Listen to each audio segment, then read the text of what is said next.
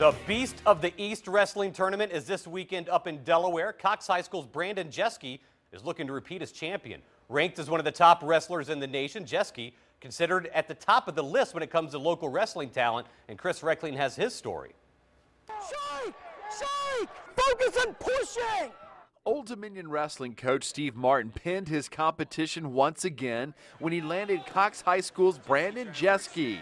Ranked as high as fourth in the country, the senior lower weight in black chose Old Dominion over Arizona State last month. And it's partly due to Jeske's relationship with Martin.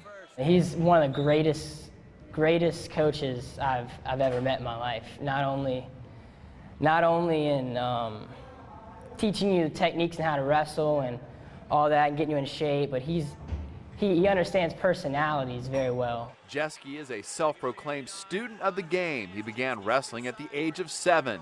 He is a two-time state champion and has wins at multiple national tournaments.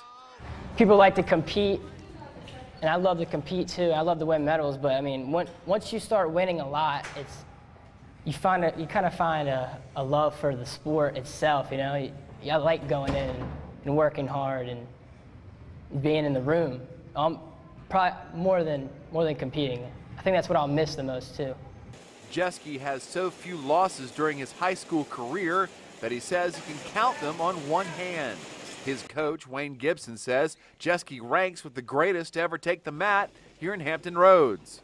I mean, I put him in the same category as uh, uh, Jody Staeler, uh, Carl Perry, uh, you know, the likes of those guys. He's just, uh, he's one of those kids that's just born to wrestle. I mean, he is, he's amazing. Jeske has big plans for his future at Old Dominion, and it ends with him going out on top. As far as wrestling goes, I mean, why not win NCAA title next year, you know? You know, we feel like he has what it takes to, to be in the NCAA finals and, and to win that thing. And in Virginia Beach, Chris Reckling for the Sports Wrap.